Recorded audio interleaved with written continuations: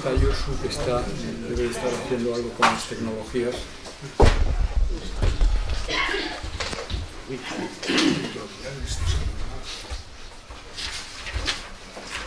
Disculpas. Buenas tardes. Este acto es para la presentación del libro de Martín Alonso, El catalanismo del éxito al éxtasis, impostura, impunidad y desistimiento. Les pido disculpas por este retraso, es que tenía que imprimir las notas que había tomado. En, la mesa estamos tres personas. Por una parte, Miguel Riera. Miguel Riera es director del Viejo Topo. Este año precisamente cumple el Viejo Topo el 40 aniversario de su, de su em, aparición y también es eh, director de la editorial Montesinos y, de ediciones y tradición cultural del Viejo editorial en la que se han publicado los tres volúmenes de, que forman la trilogía El catalanismo del éxito al éxtasis. Por otra parte, está a mi izquierda también Martín Alonso. Martín ha sido profesor de filosofía en, varios institutos, en, varias ciudades españolas y en particular ha estado bastantes años en el Instituto de los Correos de Huelva. Em, Martín eh, estudió filosofía en, Madrid y también ciencias políticas, es doctor en ciencias políticas y también hizo estudios de sociología y psicología. Formó parte eh, de diferentes colectivos, pero en particular uno que, me llena de, orgullo, porque mm, participó durante muchos años en Baqueas, una pequeña organización de reflexión que durante veintitantos años pues, eh, creamos y funcionó en el País Vasco y que ha tenido pues, una labor eh, intensa de reflexión y de eh, difusión del pensamiento a través de 70 libros de ensayo y 150 trabajos teóricos que hemos extendido o hemos difundido por toda, por toda España. Él fue un miembro del grupo de expertos, junto con alguno más que está aquí presente, entre ellos Jesús María Puente, em, que permitió pues, abordar... Ah, y Javier Merino, no, no te había visto, pero hubo varias decenas de, expertos que desde diferentes disciplinas aportaron su reflexión y su análisis de los grandes problemas que eh, nos preocupaban, fuesen relativos a, los problemas de la paz, los derechos humanos, el medio ambiente o cuestiones filosóficas. su reflexión, la de Martín, siempre ha ido en relación con los problemas de la identidad, del nacionalismo, la retórica de la, violencia, los usos de la historia y la memoria, eh, o la historia cultural de la crisis. De hecho, tiene un libro al respecto. Es colaborador habitual en la prensa diaria, fundamentalmente ha, publicado bastantes artículos en El Correo y el Diario Vasco, en el Diario Montañés, seguro que sí, también el diario.es, dentro de la prensa digital, y algunos artículos en el país. Ha colaborado en eh, muchas eh, publicaciones periódicas, entre ellas dos que formaban parte del colectivo Baqueas, en particular los cuadernos Baqueas y la Escuela de Paz, pero también en la actualidad, esas dos han desaparecido, en la actualidad pues eh, colabora ocasionalmente en revistas como Historia Contemporánea, Papeles de Relaciones Ecosociales y Cambio Global, revista de libros, claves de razón práctica, contextos y, como no, el viejo topo. Y algunas más de filosofía, como síntesis filosófica. Es autor, finalmente, por destacar algunas cosas más, de varios libros, entre ellos el, bueno, eh, precisamente eh, publicamos en Baqueas el, libro que, era una reflexión sobre lo que él llama Universales del Odio, que lo subtituló con eh, de esta manera creencias, emociones y violencia. Posteriormente publicó el libro No tenemos sueños baratos, una historia cultural de la crisis, lo publicó en Antropos. La trilogía El catalanismo del éxito al éxtasis en tres años sucesivos, bueno, aunque efectivamente están fechados en 2015 los dos primeros y en 2017 el último. Y por otra parte ha sido coordinador del libro En lugar de la memoria, La, la huella del mal como pedagogía democrática. Bien, tiene muchas más cosas, pero creo que es suficiente para, dar una, un, un brochazo de, de su trayectoria intelectual y de sus obras, de las obras que han aparecido. Bien, em, esta trilogía es una, es una obra magna, en mi opinión. Es, eh, forma parte de un, es un fresco, es un eh, intento de, de, aportación teórica de un problema complejo, eh, difícil y que nos está determinando en muchos aspectos eh, eh, la política española y eh, el futuro del país. ha titulado los volúmenes, el primero con, con los ha subtitulado con, hablando de la génesis de un problema social, el primero, el segundo, la intelectualidad del proceso, y el tercero, impostura, impunidad y desistimiento. Bien, vamos a hablar por tanto de estos tres libros, fundamentalmente del último. Eh, hablaremos, o hablará el autor, Martín, de, sus contenidos. Eh, también el eh, Miguel hablará del por qué ha editado estos libros, siendo la, función del editor una, un oficio difícil, un oficio que exige riesgo, que exige finura intelectual por parte del editor, exige compromiso y exige riesgo, riesgo económico y riesgo eh, porque eh, aborda temas a veces difíciles y temas que, son, que pueden ser conflictivos para el propio editor. En este sentido, este es un ejemplo magnífico de la función del compromiso del, editor y del, del editor intelectual en particular. Entonces, si os parece bien, abordaremos una serie de preguntas, pero creo que es interesante e importante conocer tu opinión sobre el libro, sobre por qué te comprometiste con él, don Martín. pues muy brevemente, cuando se puso en contacto Martín con nosotros, a mí me pareció muy interesante explorar el proyecto que él tenía en manos porque nosotros allá vivimos una situación difícil, complicada. ¿no? Eh, no ya políticamente, que también, sino también en el terreno de los afectos incluso. No sé, la, la izquierda está dividida, y está dividida incluso sentimentalmente. En un proceso que ha durado tantos años, porque venimos arrastrando este proceso quizá desde hace yo no sé, con fuerza, quizá cuatro o cinco años, en, personas que hemos estado juntas eh, pues en los momentos sociales, en actividades sociales, etcétera, etcétera, nos hemos empezado a distanciar. Eh, no, con, no hemos llevado las manos, obviamente, y nos seguimos tratando con respeto y tal, pero hay un resentimiento, hay una situación muchas veces eh, difícil. Entonces me interesaba una mirada exterior, ver cómo se veía desde fuera, no desde dentro de ese pozo de contradicciones, a veces de odios, de discusiones que hemos tenido ahí dentro, y que fuera una mirada lejana. ¿no? Ese, era, ese fue el primer elemento que me llevó a pensar en serio en publicar el libro. También el hecho de que ya en su primer libro, porque cuando empezamos a hablar de esto, aunque él tenía en la cabeza seguramente todo el conjunto de la obra, pues yo nada más tuve acceso a, a los primeros folios que escribió sobre este tema, él planteaba una pregunta fundamental, que creo que no se ha planteado nadie en, en, dentro de Cataluña, que es cómo hemos llegado hasta aquí por qué hemos llegado hasta aquí y cómo ha sido posible que llegáramos hasta aquí.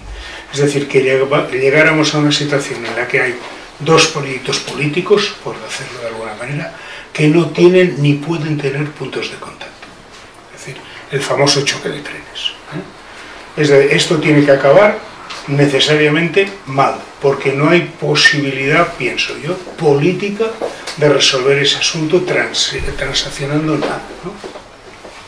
Entonces esta idea de que hubiera un sociólogo que desde fuera pensara en eh, cómo hemos llegado y por qué hemos llegado hasta aquí me parecía muy sugerente. Cuando llegó el primer volumen, a mí la verdad es que me pareció excelente y por supuesto que estaba desde el principio dispuesto a acabar publicándolo todo. Y creo que eh, Martín Alonso ha hecho una obra de referencia para el futuro. Es decir, he de decir que es, una, él tiene una posición. ¿eh? Él hace un análisis desde una posición, eh, no es un análisis neutral, pero es un análisis que desenmascara todas aquellas partes del proceso, eh, yo en esto estoy de acuerdo con él, que han representado manipulación para llegar a una situación final. Creo que va a ser un libro de referencia para cualquiera que en el futuro quiera saber qué es lo que ha pasado en Cataluña. Se han publicado muchos libros, muchísimos libros, todos de parte, todos salen de una determinada posición política, fundamentalmente todos eh, desde la perspectiva independentista, autodeterminista, etcétera, etcétera. Muy pocos eh, en otra línea, algunos han tenido cierto impacto, por ejemplo el libro de Borrell tuvo una sacudida, el libro de Marfan que se ha publicado ahora en catalán hace mucho, pues también. Hay algunos títulos, pero muy pocos realmente.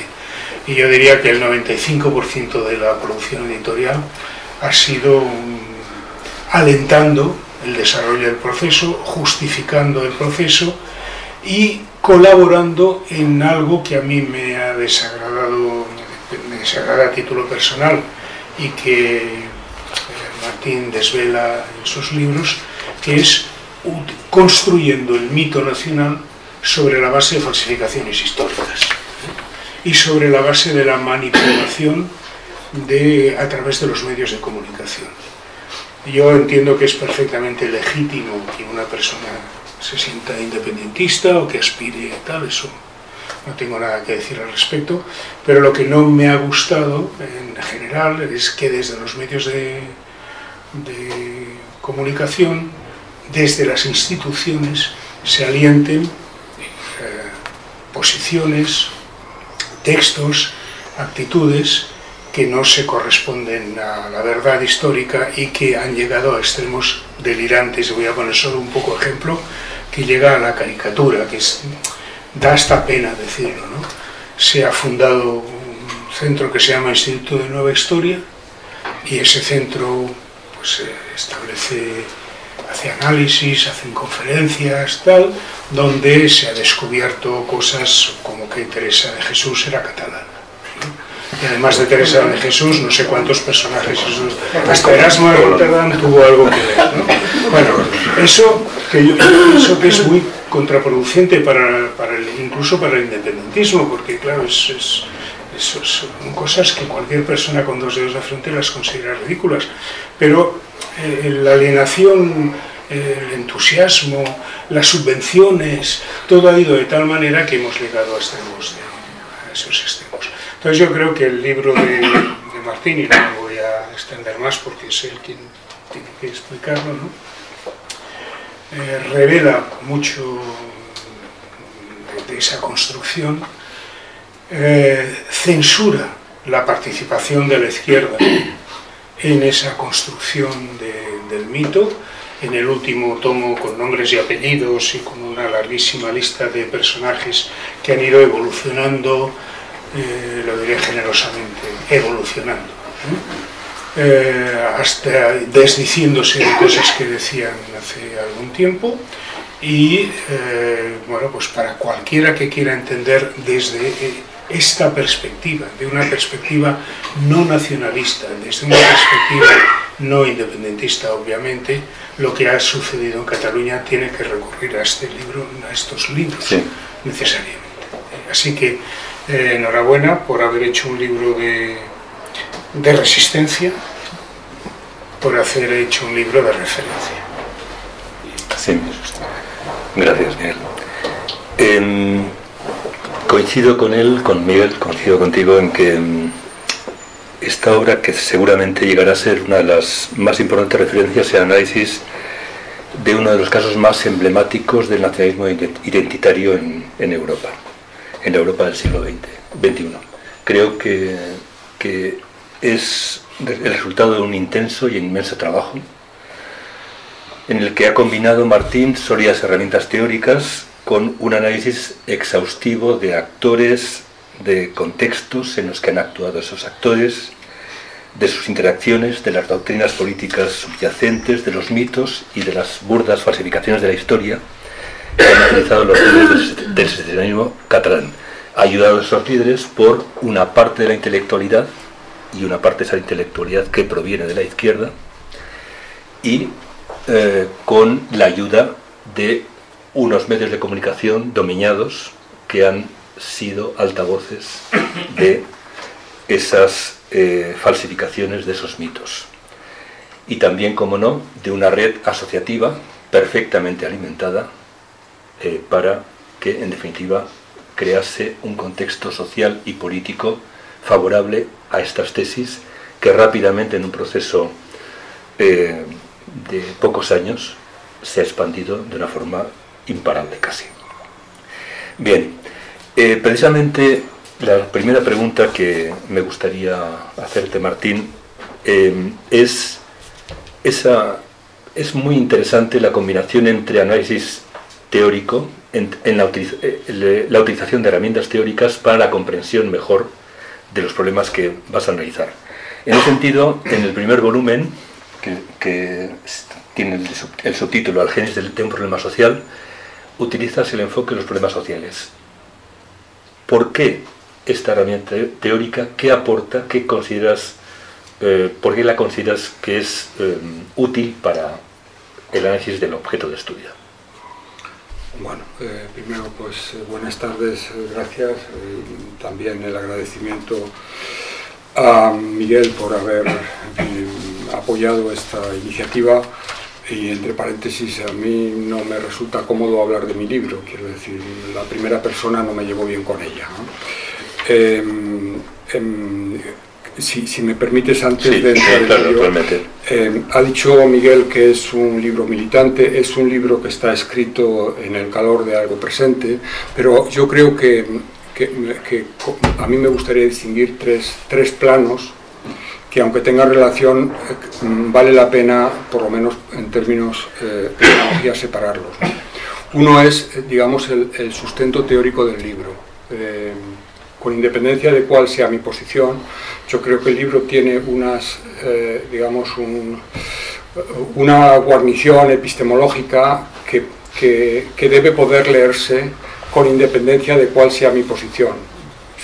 Me, gusta por eso hacer pues, eh, reflexiones en términos comparados con otras cosas y yo creo que, mm, si llamamos al libro militante, nunca puede ser mm, buen militante un libro que no es eh, epistemológicamente serio.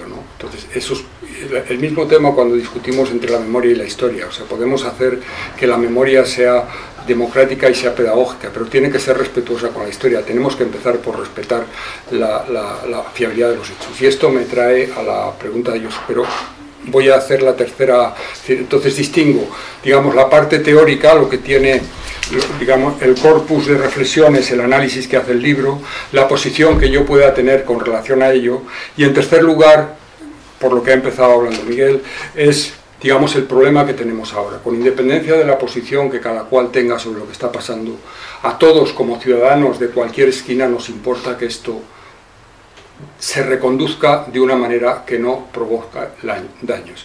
Y en eso, quiero decir, a mí no me duelen prendas de ningún tipo de hacer las concesiones necesarias en lo segundo para que lo tercero sea hecho de una manera viable. Y lo tercero es importante y por eso me permitís unos minutos de publicidad, pues lo que vamos a hacer mañana tiene que ver con eso, o sea, la presentación de un colectivo está encaminada a ver cómo podemos hablar tranquilamente de las cosas mirando la manera en la que podemos transaccionar. Porque claro, esos dos bloques que tenemos ahora son como las políticas identitarias que son de suma cero, es decir, es como los mecanismos hidráulicos. Si un émbolo sube, el otro baja, pero no se resuelven así los problemas. Entonces, con independencia de cuál sea mi posición, sobre todo lo que voy a decir, a mí lo que me interesa es que este grado de tensión, que va a generar un montón de frustraciones si no lo gestionamos bien, sea cual sea del lado que caigan las propias decisiones. Creo que como ciudadanos de un eh, país, de un territorio, yo creo que eso debe ser la cuestión principal. Y ahora ya voy a la pregunta. ¿Por qué el enfoque de los problemas sociales? Cuando, si, uno analiza eh, lo que ha ocurrido en Cataluña, pensamos el inicio de 2012, ¿no? la primera diada, a partir del Congreso de, Convergencia y la fundación de Asamblea Nacional Catalana, etc. y comparamos en términos de condiciones materiales objetivas lo que ha pasado pues, en Cataluña con lo que ha pasado en Galicia, con lo que ha pasado en Andalucía o con lo que ha pasado en no sé dónde. En términos de condiciones objetivas hemos tenido una crisis durísima, ¿verdad? Con unas reacciones de una manera u otra, pensamos en 15M y tal. Pero en términos objetivos, en Cataluña no ha sido eh, un escenario de ninguna patología especial, ni se ha habido ningún atropello mayor que haya ocurrido estos años en Cataluña. Entonces, quiero decir, cuando uno ve que si tú dices, hombre, tú miras lo que va a pasar por atrás y no ves nada particular, entonces tienes que buscar una herramienta que te permita interpretar cómo con los mismos datos objetivos se producen interpretaciones tan divergentes. Entonces, el enfoque de los problemas sociales lo que nos permite es ver cómo, digamos, eh, ciertos actores que están situados en posiciones estratégicas para influir en la opinión pública y que tienen recursos, es muy importante esto, que tienen recursos, Miguel se ha referido a eso de paso, pero esto es es increíblemente importante. Quiero decir, en lo que se llama el género literario del proceso, él ha dicho el 85%. Seguro que es el 85%. Pero muchos de estos libros están subvencionados, quiero decir. Y hay ahora mismo, que eso es también, yo creo, adelantando un poco el final, ¿no? O sea, mm, ¿por qué eh, esto cuando se habla del suflé, por qué el suflé no puede bajar? Porque ahora mismo hay un notable número de personas en Cataluña que se cuya profesión es el cocinado de esto. Entonces, esas personas se quedan en paro paso mañana. Yo cuento algunos casos en, el libro, siguiendo trayectorias de por qué alguien, alguien, porque le va en ello los garbanzos. Yo creo que los garbanzos es una cosa seria. O sea, a mí cuando alguien busca para comer, yo eso no me lo puedo tomar en broma. Y menos si soy, y menos si soy de izquierdas, ¿no? Ahora, claro, el que luego eso, por las razones que tal, le demos ese lustre, eso es lo que a mí, me, ahí es donde se produce ese desfase que permite el, enfoque de los problemas sociales concluir en esto que yo concluyo ahora, ¿no? y que ha citado este ejemplo paródico eh, Miguel del, Instituto de Nueva Historia, que está subvencionado, por cierto, ¿ah? y que, cuyos congresos se han producido en este, en este mismo ayuntamiento, donde se hicieron las primeras consultas en 2009 que Jordi, que Jordi Puyol le envió una carta de felicitación a Jordi Bilbeni, que es el director de este instituto, que ha tenido todos los parabienes y para quien recogió firmas porque se sentía tal, tal, un señor que es David Basa, que tiene ahora mismo el volante de TV3. Quiero decir que estas cosas no son insignificantes. Entonces, el enfoque de los problemas sociales lo que nos permite es hacer un rastreo de lo que yo llamo la cocina, es decir, una trazabilidad sociológica de cómo han ido poniéndose las piezas para que ahora esto que nos, parece que tomado en este momento particular es un resultado que es, digamos, eh, no ineludible, pues no es así, es el producto de ciertas decisiones individuales, algunas hechas con pues unas con, unas intenciones claras que tienen que ver con el fenómeno de la corrupción, como se ha hablado y sobre cómo volveremos, y otras, pues, quiero decir, porque efectivamente puede haber gente que, sea, eh, eh, honestamente independentista y finalmente pues nadie puede atribuirse eh, ninguna superioridad por serlo o por no serlo. El enfoque de los problemas sociales junto con otras herramientas de la teoría sociológica, lo que tú llamas la mirada teórica, la combinas con observaciones que tú llamas observaciones pormenorizadas sobre el terreno o la mirada empírica. Y a su vez todo ello lo relacionas con otros contextos análogos, lo que llamarías la mirada comparativa. ¿Eh? Mirada teórica, mirada empírica, mirada comparativa. ¿Por qué? ¿Cuáles son las virtudes de este de esta combinación, de esta, de esta eh, eh, mezcla de miradas? Bueno, para decirlo muy sencillo, porque a lo mejor es una pregunta de un cierto calado, yo creo que, que ningún teórico social puede trabajar solo con una herramienta. ¿no? Eh, seguramente todos conocemos la, la, palabra triangulación. Triangulación consiste en poner tres vértices donde tú colocas para situar, porque si no, no tienes perspectiva. Entonces, Quiero decir, alguien que, quiere hacer una descripción de un proceso concreto sin, sin, eh, eh, utilizar unas herramientas para el análisis, pues obviamente eso es muy fácilmente manipulable. Eh, hace falta utilizar, o sea, no, podemos partir de cero para nada. Entonces, esa mirada teórica es necesaria cuando se hace una cosa quiere hacer algo con una cierta densidad. Obviamente la mirada empírica es porque es el grado cero de la realidad. Quiero decir, eh, podemos, eh, podemos eh, discutir o discrepar sobre si estamos o no de acuerdo sobre el derecho a decidir, pero lo que no podemos discrepar es que el, Tribunal Constitucional alemán el día 1 de enero declaró que Baviera no es un sujeto que pueda hacer un referéndum. Y, en Italia pasó lo mismo hace unos años y quiero decir, e, esos son datos objetivos. Claro que luego hay otros casos y que sí que podemos entrar en ello, pero la mirada empírica para esto, pues obviamente eh, es necesaria. Sí. tengo que confesar que esa aproximación que has hecho es la, la, riqueza de las herramientas teóricas que utilizas es extraordinaria y aunque se hace ardua la lectura en algunos momentos porque exige una lectura atenta y un intento de comprensión de temas que no son fáciles o que no estamos acostumbrados a eh, sobre los que no estamos acostumbrados a leer. Sin embargo, te das cuenta luego que eh, permiten una comprensión mejor del problema. Eh, al mismo tiempo, sorprende, a mí me ha sorprendido, la enorme riqueza, la inmensidad de esa mirada empírica. Es decir, la cantidad de fuentes que utiliza eh, Martín y la buena relación, la, buena combinación de esas fuentes es extraordinaria. Porque no solo es el conocimiento que, que ha podido llegar a tener sobre la evolución histórica del proceso soberanista, sino también eh, otros procesos de hace muchas décadas.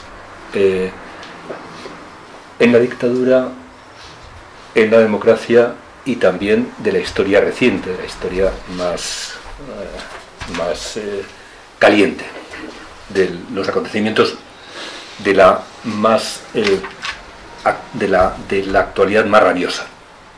En ese sentido, la, la cantidad de fuentes es extraordinaria y sobre todo la buena relación entre ellas. Es decir, no es difícil encontrar em, que algo sobre, sino que tiene razón de ser esa referencia a, un hecho, a la biografía intelectual, a la biografía de una persona determinada, etc., porque analiza actores, analiza líderes políticos e intelectuales.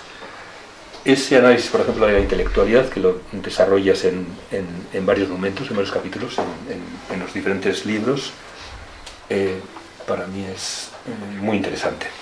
En ese sentido, em, esa combinación de teoría sociológica y de crónica política, em, que es muy enriquecedora, tú sobre la primera señalas que esa, la teoría sociológica, que sería algo así como, como le llamas, la, la, luz, la luz larga, frente a la luz corta, que es la crónica política del acontecimiento que se produce.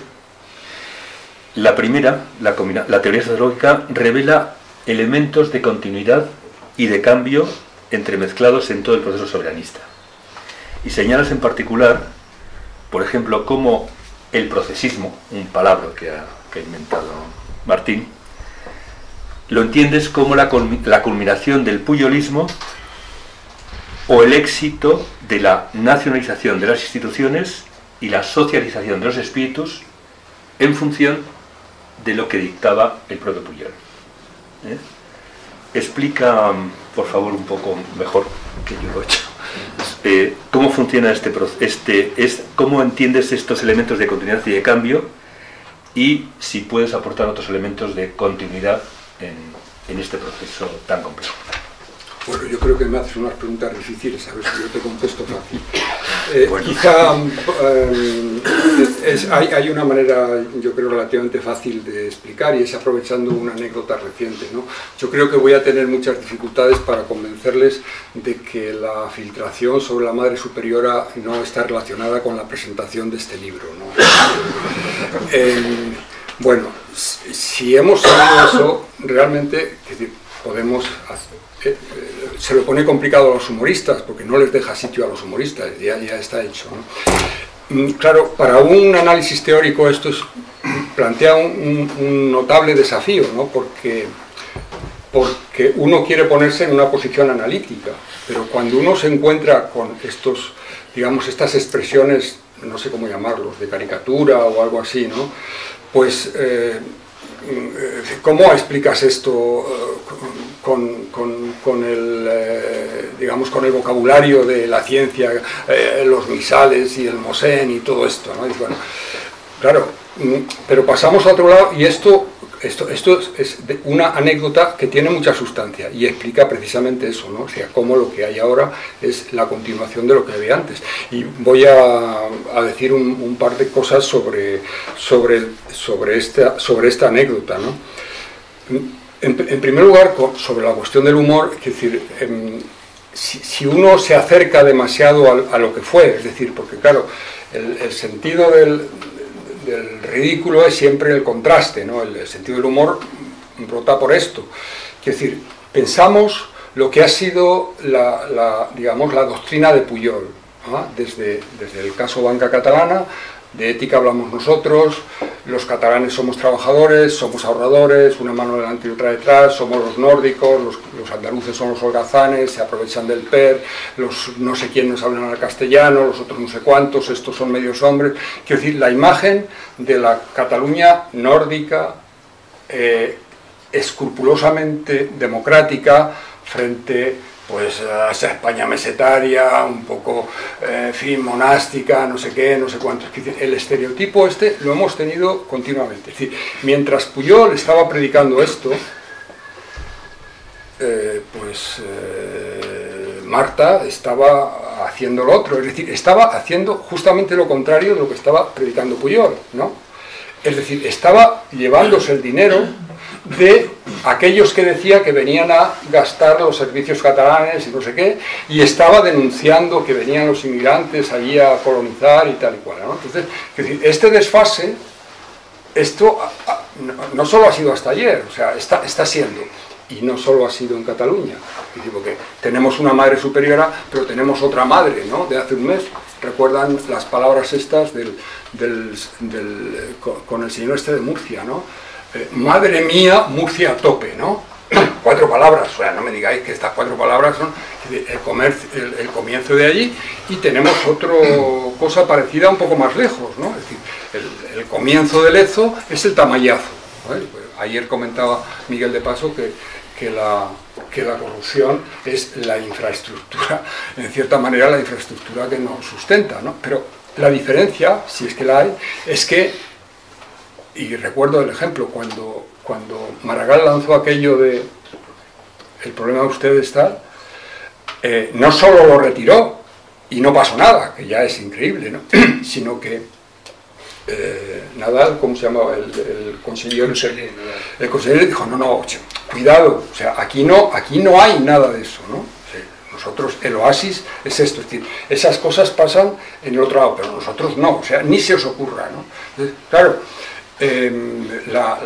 ese contraste de percepciones ha sido una continuidad, y ha sido una continuidad que precisamente se ha acelerado, es decir, cuando uno, de los elementos, porque ninguna variable sola explica todo, ¿no? he hablado antes de la crisis, pero uno de los elementos que ha contribuido a, esta, digamos, a este derrape a partir de 2012 es precisamente la, el hecho de que la narrativa de banca catalana, el Estado contra nosotros, ¿no? Eh, la jugada indigna, no se podía replicar. ¿Y por qué no se podía replicar? Porque Millet confiesa en 2009. Millet dice en 2009 que él ha robado. Entonces, claro, si yo digo que he robado, no me puedes decir, es el Estado el que viene por mí, ¿no? Por cierto, que ya sabéis que ahora en el caso Palau, ayer ha habido un arreglo, como hubo otros arreglos, donde la impunidad se replica de un lado a otro, ¿no? Entonces, en 2009 pasan esas cosas. Antes hablábamos un poco de los detalles y el rastreo empírico. El capítulo más largo del libro es un capítulo sobre editorial conjunto. Sí. Y ahí trato de explicar el editorial conjunto lo publican la mayor parte de los medios catalanes, es una cosa inédita, porque ¿qué pasó en Cataluña el 27 de septiembre para que el 28 se pusieran de acuerdo todos los medios? es interesante ver eso, porque decimos, no, no, es que fue la sentencia Constitucional y no sé qué. Bueno, ¿qué pasó entonces? ¿Y quién lo dirigió eso? ¿Y por qué ocurrió así?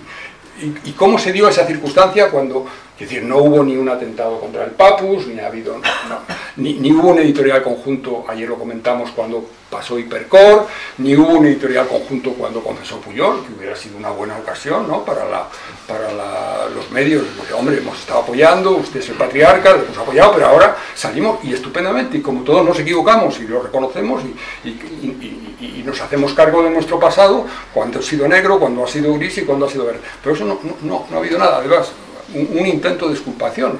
Eh, uno de los escritos de, de Enrique Juliana, que citaste ayer, eh, Miguel, es diciendo, pero ¿cómo se meten con este hombre con lo que ha hecho? Es decir, sale en defensa de Puyol, ese hombre que le tenemos hoy predicando que no puede ser. Bueno, pues tendría usted que hacerse cargo también de aquello y el señor Antís tenía que hacerse cargo de aquellas cosas. ¿no? Entonces, eh, ¿cómo se van construyendo estos elementos? Esto no puedes hacerlo sino que ir con, con el, el aparataje, con el utillaje de un entomólogo. Es una cosa pesadísima es una cosa pesadísima, pero luego con eso se construye la imagen global. ¿no? Y entonces, bueno, pues, pues esa, es, esa es la continuidad, quiero decir. Los medios han funcionado de esa manera y eso ha asegurado efectivamente esa nacionalización y esa sintonía, ¿no? porque hay un concepto que, es importante que lo tengamos claro, que es el concepto de espacio catalán de comunicación. O sea, la idea del espacio catalán de comunicación es algo así como si le ponemos una campana que abarca todo esto y en esa campana pues es decir, ahí se, establecen las correlaciones. A partir de, los, de, los, de las encuestas del CEO y otras encuestas, vemos cómo la, audiencia de ciertos medios produce con mucha probabilidad ciertas actitudes, ciertas respuestas. ¿no? Entonces, bueno, pues eso hay que tenerlo en cuenta. Sí. Precisamente has citado el editorial conjunto que, en tu opinión, supuso efectivamente la espoleta del proceso soberanista y no la reforma del estatut y eh, la sentencia del Tribunal Constitucional. Em, es decir, dedicas de hecho 160, 170 páginas al, análisis editorial conjunto. Eh, ¿Nos podrías decir lo fundamental de por qué entiendes que, esa, que, ese, que ese editorial fue clave en el inicio del proceso soberanista?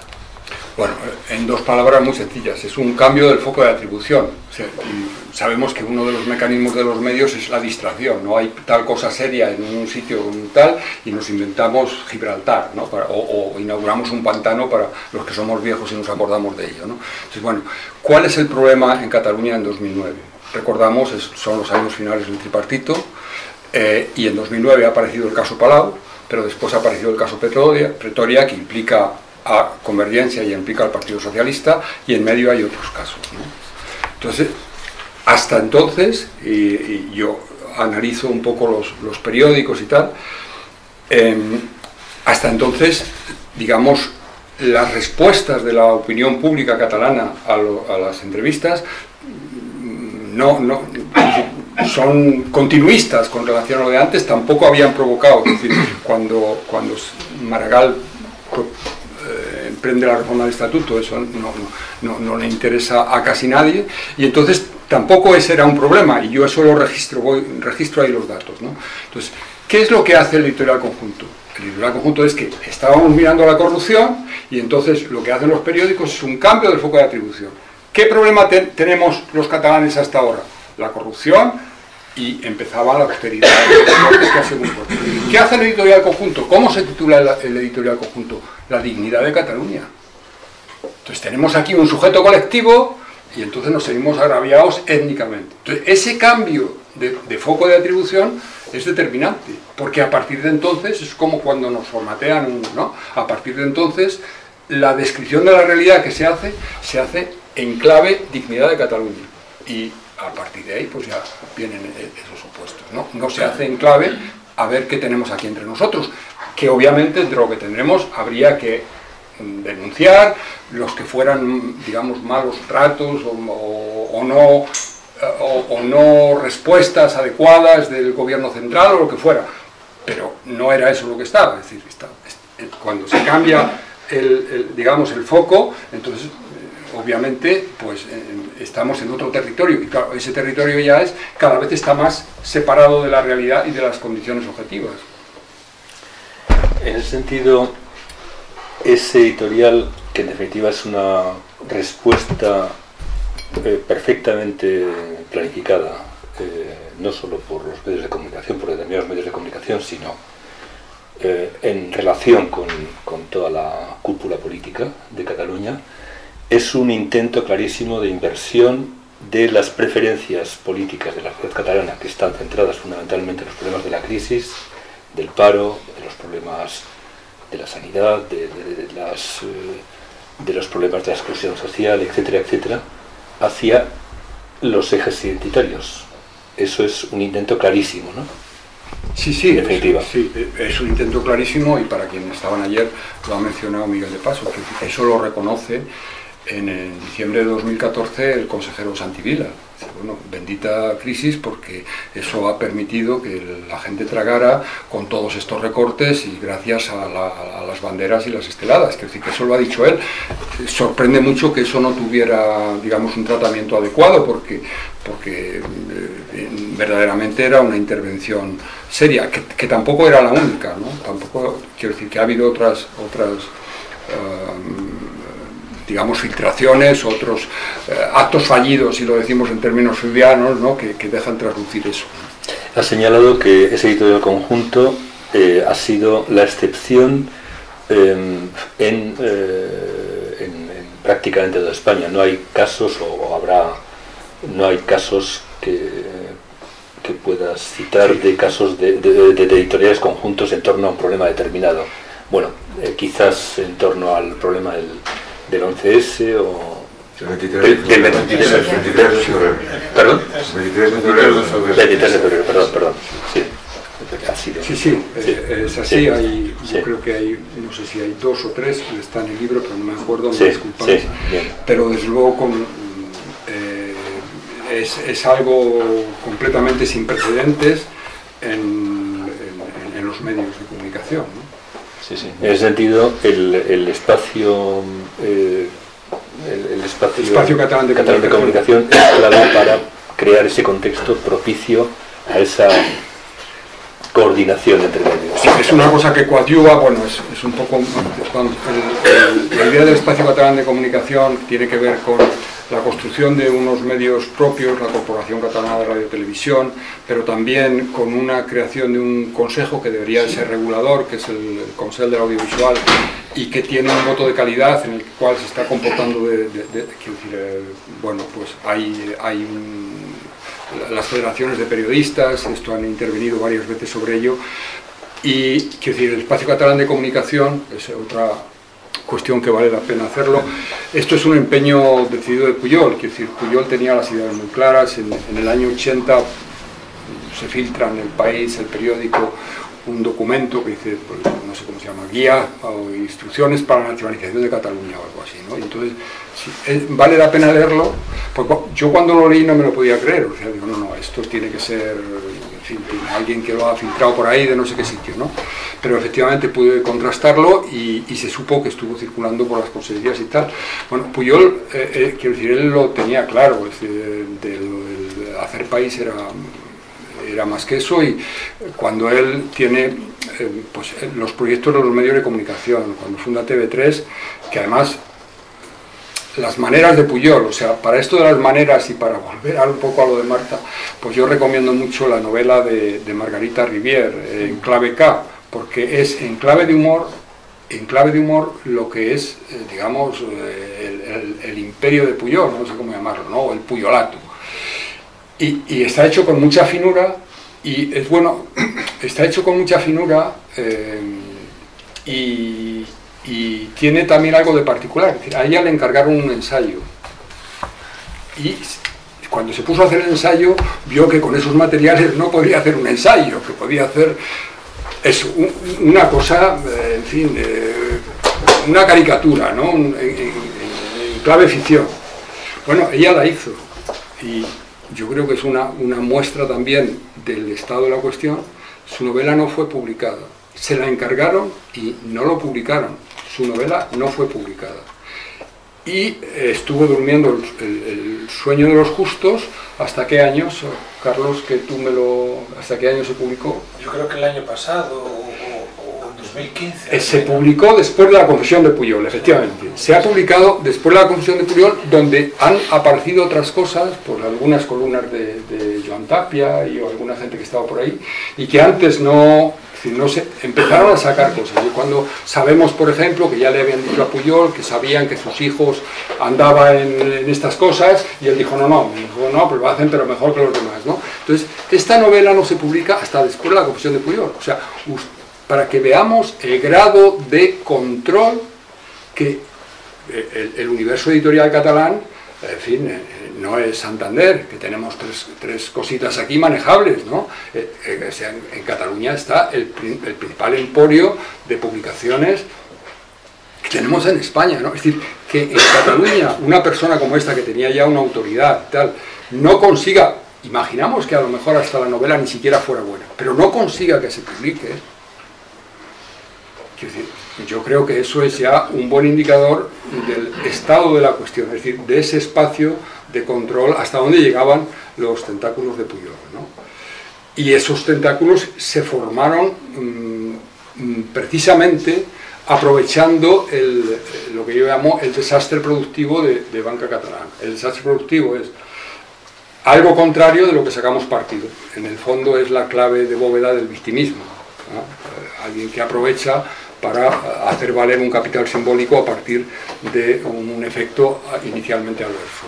Entonces, eh,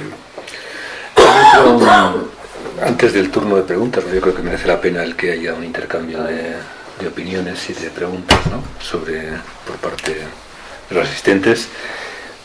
Me, interesa mucho eh, preguntarte sobre la reflexión que haces sobre la izquierda catalana. ¿no?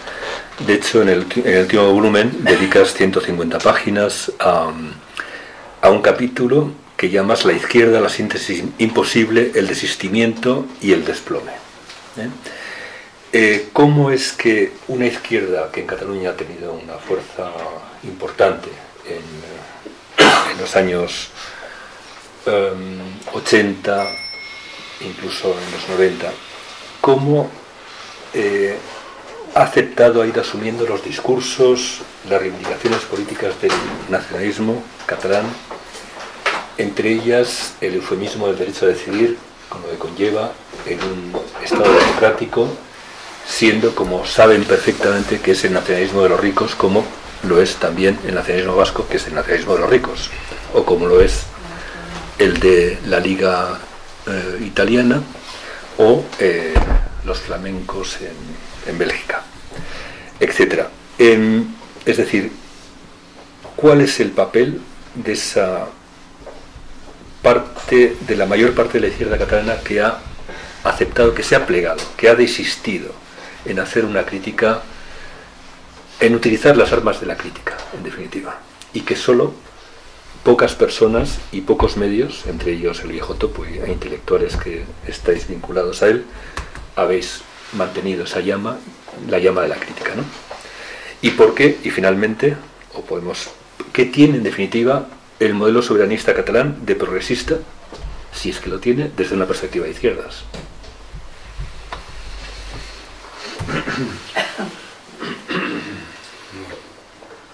Aguantamos todavía un poco más. Eh, vamos a ver por dónde empiezo. Bueno, en primer lugar hay que empezar por reconocer ciertas cosas, ¿no? Eh, la pregunta, ¿eh? Si, si, acaso luego me recuerdas. Sí, sí. Vamos a ver. Uno de los elementos es que mmm, hay una parte de la pérdida de influencia de la izquierda de la que no tiene responsabilidad porque vemos que es una digamos es un, una trayectoria que vemos fuera de Cataluña y fuera de España entonces hay un digamos un, un proceso que pero lo, que, ha ocurrido en Cataluña sí que yo creo que tiene algunas características particulares que en algún momento pues algunas coincidían con lo que pasó en el País Vasco ¿no? eh, yo creo que está bien señalar lo del nacionalismo de ricos ¿no? para, para estos dos, ¿no? Y, ¿no? como cuando hablamos de estas cosas pues se nos olvida cuáles son las dos minorías que, que, que están peor tratadas eh, en España. ¿no? O sea, si hay alguien que verdaderamente le correspondería por ser una minoría oprimida el derecho a la autodeterminación, yo creo que no hay ninguna duda de que tendrían que ser los gitanos. ¿no?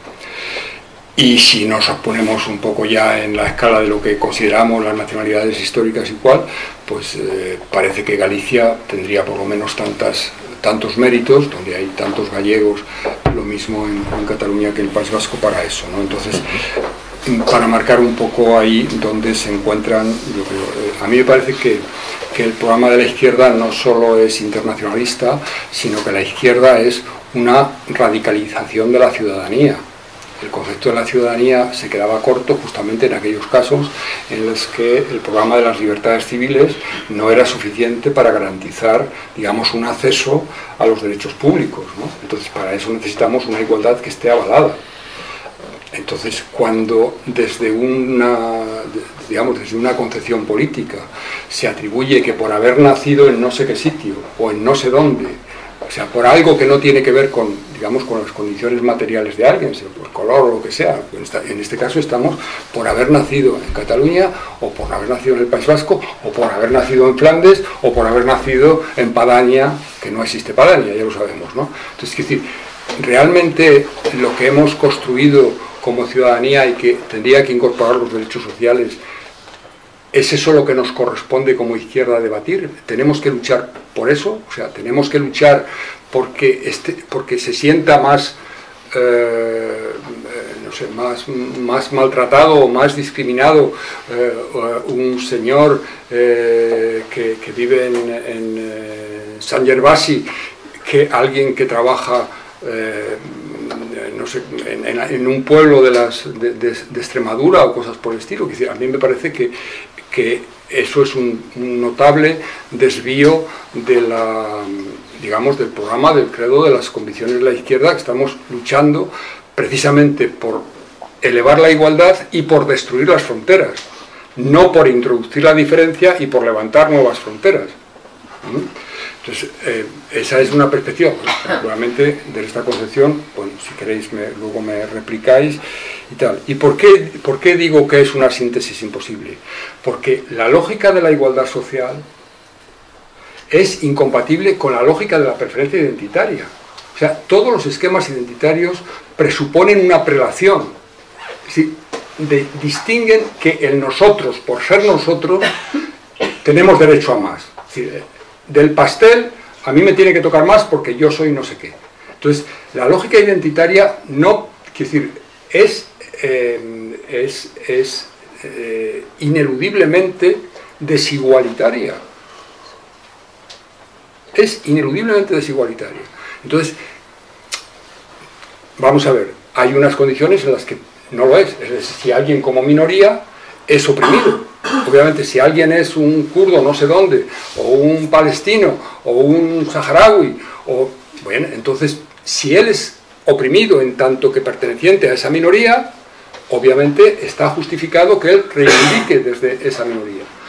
Pero no parece que sea el caso, es decir, en términos de lo que podemos observar, que haya en Cataluña o en el País Vasco o en, eh, Flandes situaciones que puedan ser eh, explicables desde un concepto de maltrato. Pues vamos a ver, o sea, será, será eh, el, señor mm, este aparcero de, no sé qué sitio de, de, Huelva el que está maltratando al señor Fainé. O sea, pues, si establecemos los sujetos colectivos y nos roba España, tenemos que llegar a esas conclusiones. Llevo un poco la, discusión más de esto. Pero en ese sentido me parece que la síntesis es imposible. Mm, ¿Que tenemos que reconocer las particularidades culturales? Claro que sí. ¿Que hay que apoyar la lengua, todas las lenguas? Pues claro que sí. ¿Que tenemos que hacer es un mecanismo? Pero conviene ver la diferencia. ¿no? Una cosa es apoyar las lenguas y otra cosa es establecer la lengua precisamente como un criterio para discriminar. Y quizá voy a decir otra anécdota, ¿no? Eh, es de final del mes pasado. Em, si eh, recuerdan, em, es, una intervención de, Gabriel Rufián donde le llama capo a Puyol.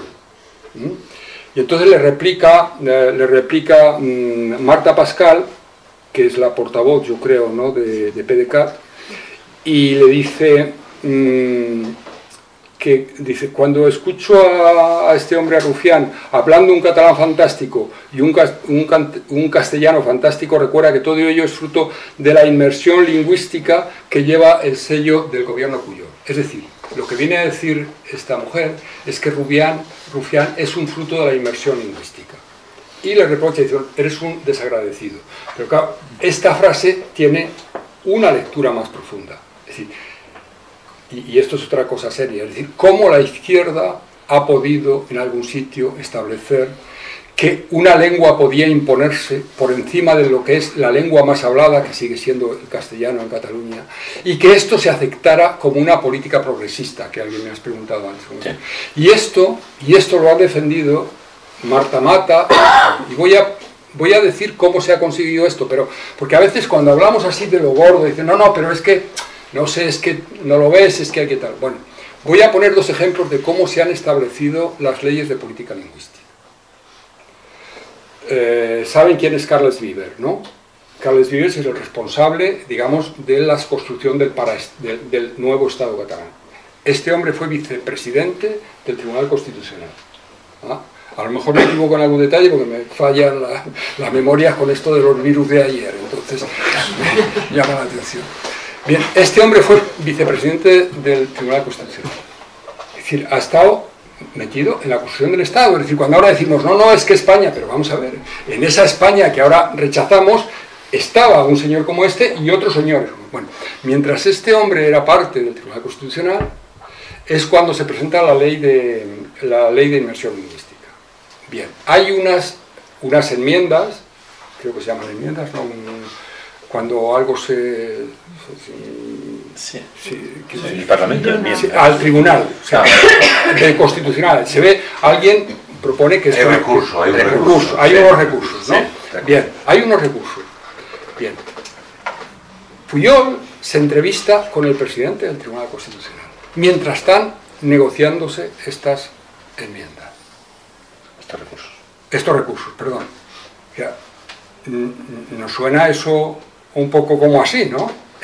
Mientras se está negociando estos recursos, y hay en ese momento ese eh, elemento diferencial que, también es comprensible en cierta manera, que es el, legado, el legado amargo de la transición y un poco, digamos, la valoración, la discriminación positiva hacia los nacionalismos periféricos por digamos, el, el, impacto, que es eh, incalificable y que no puede ser negado, de la dictadura franquista.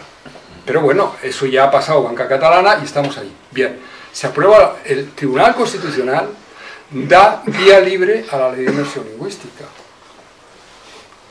en todos los términos posibles, eh, esto es un disparate. Pero no solo en todos los términos posibles.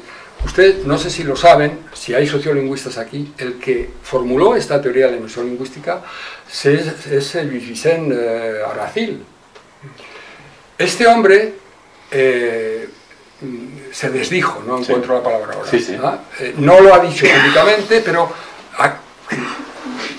aquello lo congenió entonces con la Escuela Catalana de Sociología, hace tiempo que se separó, no habrán ustedes oído hablar de él, y ha descalificado completamente en privado esta ley de inmersión lingüística. Bueno, este es el primer plazo de cómo se produce la inmersión lingüística. Segundo plazo, llegamos al 95, no era suficiente.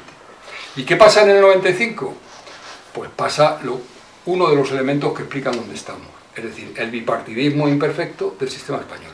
Cada vez que en Madrid hay un gobierno que anda mal, pues se las arregla para que el PNV o para que Convergencia hagan. Entonces, el decreto ese de la estiva que tenemos hoy, el concierto de anteayer. Bueno, ¿qué pasó en el 95? El pacto del Majestic, ¿verdad? ¿Se acuerdan ustedes del pacto del Majestic? Bueno, el pacto del Majestic fue firmado para, hacer un poco de, ya volvemos a lo de la Madre Superiora, en el molino de Rodrigo Rato, en Carabaña, cerca de Madrid. Si quieren un poco de esto, pues es, muy eh, sugerente, ¿no? Se podría haber llamado el Pacto de Carabaña, que un poco, se llamó el Pacto del Majestic. Y por cierto, ya hago aquí un paréntesis, eh, en fin, me salgo un poco de esto, ¿no? El Majestic es donde llegó en abril de 1938 Machado huyendo de Valencia en dirección a la frontera y allí pasó su último tiempo en territorio español, un mes en Barcelona, en el Majestic. por cierto, creo que ahí han nombrado una... Hay, creo que Majestic es ahora un spa y hay una habitación que le han llamado Antonio Machado, que es así, pues, ligero de equipaje. ¿no? Bueno, ya, aquí termina la publicidad.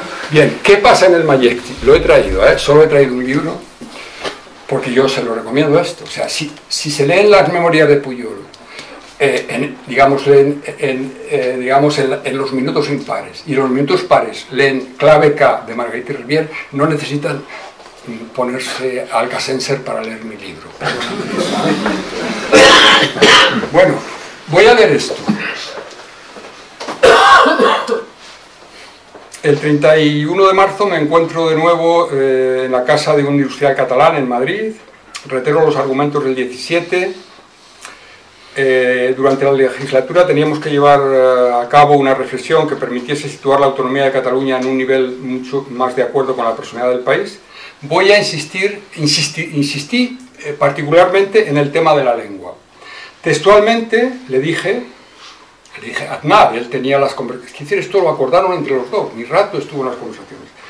Textualmente le dije, según consta en los documentos de la reunión, comillas, sobre todo,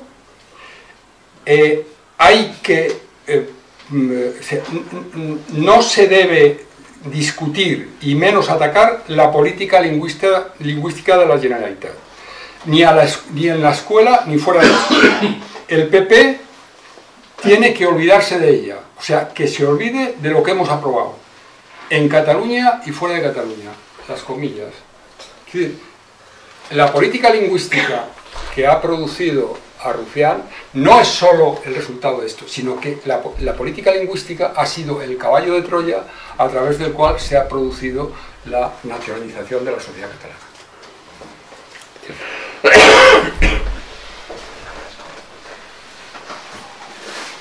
Podemos eh, pasar a un turno de preguntas o de reflexiones. Adelante. Bueno, no sé si les queda neurona disponible. Bueno, eh, gracias por, la intervención de, los tres. Yo creo que es la reveladora de, también y que presenta estupendamente el libro. Yo, hay, algunas cuestiones que me gustaría, si es posible, que, desarrollases un poco más, de la absoluta convergencia,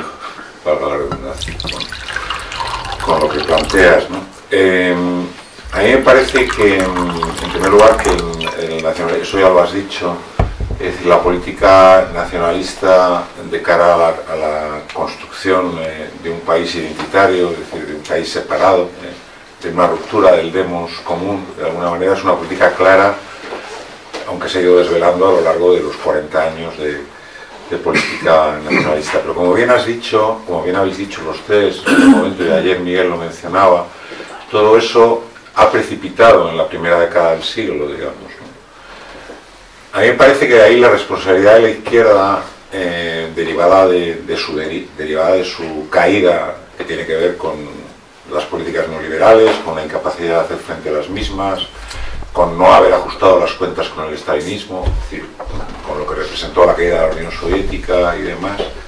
Todo eso, digamos, eh, deja a la izquierda en una situación que la hace eh, optar claramente por, por la identidad.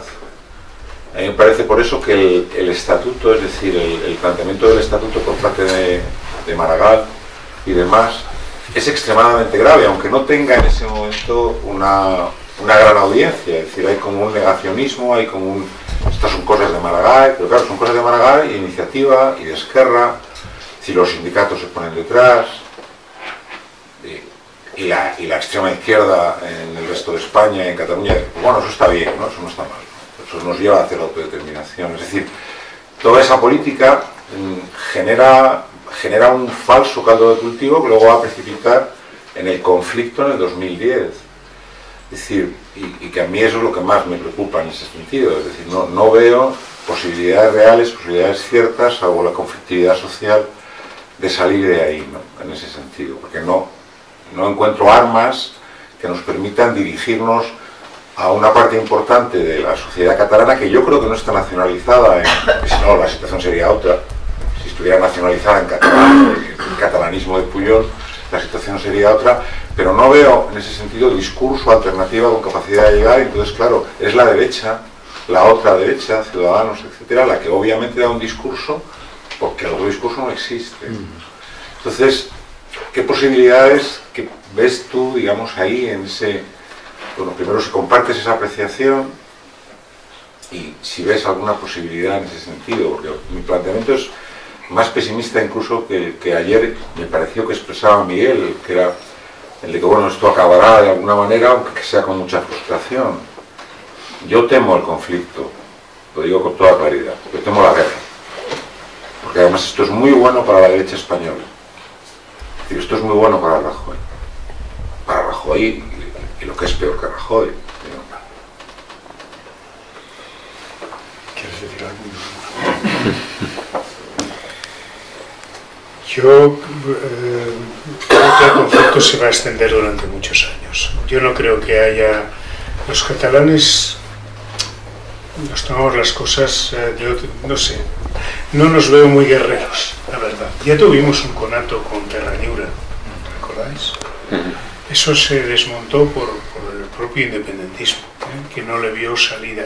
Yo creo que eh, la sociedad catalana sabe que por la vía, después de la experiencia del País Vasco, que ahí no hay nada. Lo que va a haber es un conflicto permanente. Ahora tenemos el conflicto con los Mossos, los Mossos de Escuadra, el, el que dirige los Mossos de Escuadra, e incluso el director general del que dependen los Mossos de Escuadra, que es independentista, han dicho que no piensan eh, violar la legalidad. ¿no? Bueno, yo creo que eso va a quedar eh, anclado. eh, vamos a acabar teniendo unas elecciones generales, hay, perdón, autonómicas, y que va a volver a repetirse los discursos y vamos a volver a intentar mantener el proceso, el proceso eh, durante más tiempo. Pero no creo sinceramente que la sangre llegue al río, la sangre física. Ahora que la sociedad se va a seguir dividiendo, eh, ¿no? eso sí, no sé si era exactamente lo que estabas Sí, eh, las dos ¿no? cosas. Por un lado el riesgo que yo bueno, siento y luego la otra cuestión que estás planteando. Luego tenemos un, un problema además político. ¿no? no sabemos lo que va a pasar en España con el. Ahora mismo hay un- una situación extraña en la que ya veremos qué pasa con el PSOE, ya veremos qué pasa con las primarias, ¿no? y, que, ya veremos qué pasa con la corrupción. ¿no? Esto desestabiliza más las cosas. Y en Cataluña también tenemos otro problema. ¿no? tenemos la configuración de un nuevo partido de izquierda en el que van a confluir prácticamente todos los partidos, que como yo subrayaba ayer, tiene eh, la cúpula es, yo diría, 60% pro, pro derecho a decidir, independencia, etcétera, pero 60% de las bases no, y que no se ha definido, que plantea como objetivo el referéndum acordado con el Estado. Entonces, como el referéndum acordado con el Estado no se va a producir, ¿eh? pues es, no tiene salida tampoco. Es una situación en que ese partido de la izquierda tendrá que definirse de alguna manera.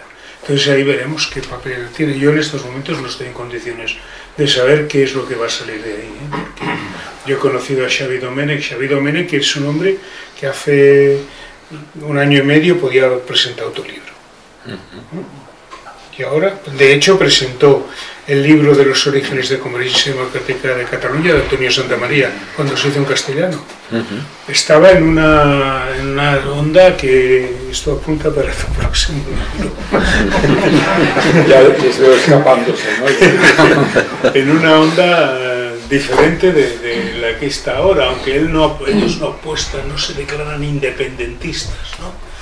Tener en cuenta también que la habilidad extraordinaria del catalanismo ha sido encontrar unas palabras magníficas. Algunas tomadas prestadas, pero otras no. Por ejemplo, derecho a decidir. ¿Quién se va? Eh? Por ejemplo, democracia es votar. Sí. Eso te lo dicen así de entrada y de hombre, claro, sí, ¿no? Estamos, sí, estamos todos de acuerdo, ¿no? De, entrada. No se llama separatismo ni secesión, se llama desconexión. Tenemos un vocabulario propio que está muy adaptado a mantener esta situación así un poco light. ¿no? Entonces, eh, creo que será importante llegar al final de este proceso que tiene poco recorrido, porque supongo que ya lo sabéis, pero el referéndum lo tenemos en septiembre.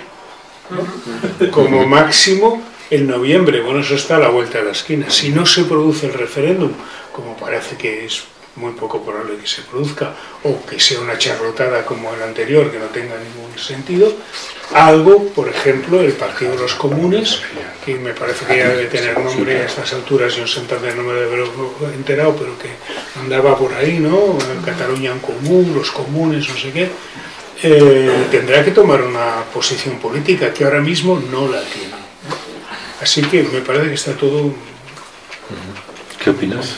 Sí, bueno, yo creo que, que um, el, el, hecho de que se haya instalado la idea de que viene un poco de lejos, ¿no? de, que, de que estos referentes, estos significantes flotantes, la autodeterminación o el votar, eh, eh, haciendo abstracción de las condiciones y de los contextos y que la democracia se identifica formalmente con eso y demás, eh, es, un, es, una trampa mortal para la izquierda, porque claro, creo que algún día lo hemos comentado también aquí, ¿no? Inicialmente, bueno, ¿y cómo alguien puede oponerse al derecho a decidir? Pero, claro, y al derecho a respirar, y claro, todo eso hay una, una, envoltura que además es una envoltura muy oportunista, ¿no? Y que, y que va siendo utilizada en función de las conveniencias. Seguramente recordarán ustedes, pues no sé si fue hace un par de meses, cuando desde, desde Jun, Jun Pelsi eh, sacaron a relucir el informe del, ¿cómo se llama? del Consejo de Venecia o el Comité de Venecia. O, bueno, eh, claro, el Comité de Venecia decía que, que hay que hacer los, que, que se pueden hacer los referéndum, pero de acuerdo con las leyes de los estados en cuestión, como había pasado en Fabiana en otro sitio. Entonces, bueno, hace tres días han puesto en marcha algo, claro, es que uno de los inconvenientes, Miguel, Miguel lo decía antes al principio, y una de las cosas que para alguien que se dedica a esto es tan terriblemente desolador, es que es enormemente cansino, porque cada día hay unos editoriales, perdón, hay unos titulares que, que no tienen fundamento y que uno necesita unas palas excavadoras de kilos de cosas para decirme, eso es, que, no tiene ni pies ni cabeza, pero suena bien. Y entonces así que suena bien y alguien lo pronuncia siete veces, ya se saben ustedes la fórmula esta de repetirlo siete veces, entonces ya cala. Si, yo les, algún día a lo mejor hablamos de ello, ¿no?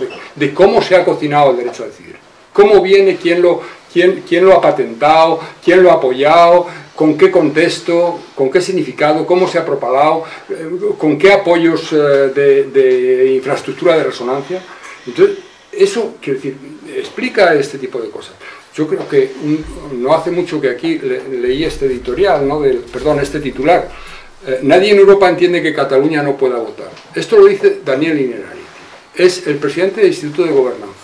Bien, eso es lo que dice el periódico de Cataluña, que no es ni, ni el Punch, ni, ni Ara, no. Bueno, ¿qué quiere decir esto? Asesor, asesor de Lendakari Orcullo. bueno, eh, asesor de la cárcel, pero más, es, un- es una persona que, es, que está en el PNV y que tiene el cargo, perdonad, aquí ya voy un poco más lejos, ¿no? El cargo que tiene como presidente del Instituto de, de la Gobernanza es por su afinidad con el PNV en el País Vasco, que es el que financia esto a través de Iker Vasco. Pero bueno, ayer salió aquí esto del fascismo de España y no sé cosas. A mí me parece que las personas tienen derecho a cambiar, reconocerlo, y él ha cambiado pero, pero, no, pero no lo admite o se calla con ello. Daniel Irarity, la verdad es que esto me produce profundo desagrado llegar a este extremo, pero los temas identitarios tienen este elemento en particular. Primero, que consumen muchos titulares, es decir, la capacidad que tienen de absorber la atención con los problemas que tenemos, coño, perdón, ¿no? Entonces, que te- estamos discutiendo de que si este señor, de si aquel le dijo, que si era no sé cuántos, pero ¿de verdad es eso lo que tenemos que hablar? Y en segundo lugar, que de alguna manera te, te obligan a entrar en el cuerpo a cuerpo. Bien, pues hay mucha gente que, dice que, si España no acepta el, derecho a decidir es porque no es democrática. Bueno, y que eso es una herencia del franquismo, ¿verdad? Porque España sigue siendo franquista. Bien, Daniel Irarity es el nieto del que cocinó con el general Mola el golpe en Logroño. Es decir, para cuando vamos buscando los recovecos que nadie es responsable de lo que hizo su abuelo, ¿no? Pero no podemos decir, no podemos descalificar que no se pueda hoy decidir porque España es heredera de Franco, porque si somos herederos de Franco tenemos que mirarnos todos debajo de la chaqueta, ¿no? Este señor ha sido en su, durante muchos años un miembro muy activo del Opus Dei, que tampoco es ningún crimen, ¿no? O sea, pero vamos a ver, si vamos de elegantes, de exquisitamente democráticos, de progresistas, de emancipatorios y dando lecciones de cómo hay que hacer las cosas, pues tendríamos un poco que mirarnos en el espejo, ¿no? E- Es muy desagradable, quiero decir, a mí me produce profundo incomodidad citar un nombre, eh, entrar en esta historia, pero, es- o sea, cada día estamos en Recordamos cuando Oriol Junqueras eh, lanzó aquello, no, no, pues esto, y entonces cada día hay, entonces no te queda más remedio que decir, mira, pero usted con qué criterio, si, mire lo que dijo anteayer, ¿cómo dice usted lo de anteayer y ahora dice esto? Eh, eh, es- eso es, es, quiero decir, me parece que solo por esa razón, desde la izquierda tendríamos que, en fin, negarnos a aceptar que esto sea un tema sobre el que haya que escribir. Ah, Sí. Bueno, yo quería en primer lugar felicitar a Martín. Conozco sus dos libros, no conozco este, pero estoy asustado viendo el Con Se razón. ve fácil, se ve fácil. Es ameno. Eh, quisiera felicitar al editor por la valentía de, de haber publicado en Barcelona además en una editorial estoy viendo ahí los ejemplares que yo compraba hace, hace años del viejo top. ¿no?